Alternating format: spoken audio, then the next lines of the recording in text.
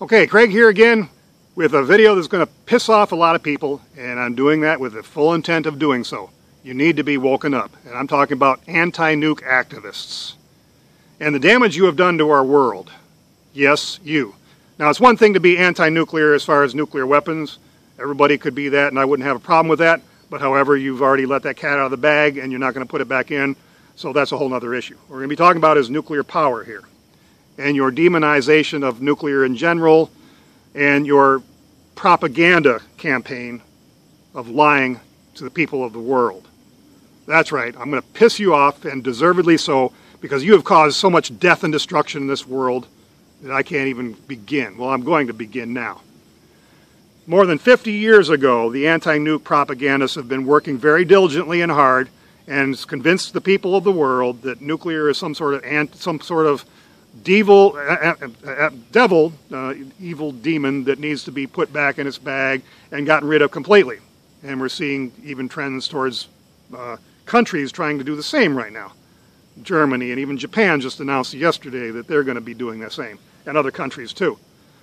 This would be one of the worst things to happen to this world. Uh, all right, I'm not anti-nuke and I'm not pro-nuke, and I'm, for reasons I'm going to be going on through here in, in, in a bit. But here's what's happened. More than 50 years, more than 50 years ago, there was something developed called uh, thorium-based um, nuclear power plants. Uh, molten salt reactors. Most people don't even, some, some physicists don't even know about this. It's well established science already that these plants that were developed over 50 years ago would have an intensively more safety than our current power plants have because our current power plants suck in a lot of ways, nuclear power plants. But it would be extremely more safe, passively so, to where man couldn't even make a mistake, and they would uh, have the nuclear waste would be so much more reduced. In fact, these plants, which couldn't be used to make nuclear weapons, by the way, these plants would be taking spent fuel from our current nuclear power plants and using them as fuel in those plants, and further reducing the radioactivity down to where you could store it in your basement, kind of thing. So, making the nuclear waste much more safe. So, you're solving the nuclear waste problem almost completely, and you're solving the safety problem almost completely compared to our present power plants, which are technology that's like 70 years old now, 60 some years old, our present nuclear power plant technology. Because of the work of you anti-nukes, you have purposely disallowed the progression of this that has already been discovered and already been proven. You've disallowed the advancement of the next generation of nuclear energy. So you've put us in a position where we're stuck with our current power plants, which aren't the best in the world, they're getting better, and there's very few being built now, and it's declining because it's you've created a political hot potato for anybody in, in, in any government in the world to even talk about it starts getting shot down because of the ignorance and the lies that you have been promoting all throughout these last 50 years. Yeah, I'm going to piss people off, and the comment section is going to be a buzzing. But if it wasn't for you, all these present nuclear power plants we have that are most of them are 50 years old or so would have been slowly phased out where we may not even have any anymore because the thorium based plants make so much more sense. You have stopped the progression of nuclear energy by your bullshit. Yes, I said it. And in doing so, you have created a Three Mile Island, a Chernobyl, a Fukushima, because those plants might have already been gone if it wasn't for your stupid activism, your ignorance. Radiation is everywhere in our environment. There's radiation in that lake behind me. There's radiation in the air. There's radiation in this table here.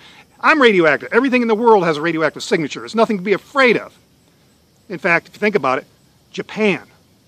Japan had Hiroshima, Nagasaki, and Fukushima, yet they still live longer than anybody else on the entire planet. But no, you want to demonize radiation mild amounts, mild amounts of radiation has actually been shown to be to be good for you. Actually, look up radiation hormesis. But anyway, I'm going to have a lot of links below, backing up everything I've said. So, because of you anti-nuke activists, we've had these accidents. Whether or not they would have been replaced by the time, you know, whether we would have been completely 100% thorium by now, we might have been, been working on fusion by now. the next generation after that. But no, because we got to kick and scream about nuclear and put it under the rug where technology superior to what we have is out there that you have failed to allow develop because of your bullshit. Okay. You have caused numerous deaths. Now, nuclear energy is actually the safest of all the energy methods we have. Yes, even safer than solar and wind. Yes.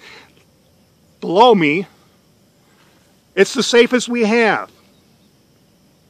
But you want to cut it down. You'd rather go to fossil fuels or some other form that's going to kill more people and cause more damage to the environment. Nuclear is actually one that has no carbon footprint essentially, and it's going to be safe. It's going to be even better for the environment than solar and wind. Again, below me. That's right. Nuclear is safer and uh, better for the environment than even our bad nuclear power plants we have today. But you want to get rid of it. You're going to replace it with coal, which kills millions. You want to replace it with all these other forms that are going to kill more people and cause more damage to the environment. What the hell is wrong with you? You are responsible for these deaths and these power plant accidents, in my opinion. We could have already been so far advanced with nuclear if it wasn't for your bullshit. All right. I could go on forever. I don't want to make this too long. I want to piss off enough people and to try to wake them up. We need a, a video like this to go viral.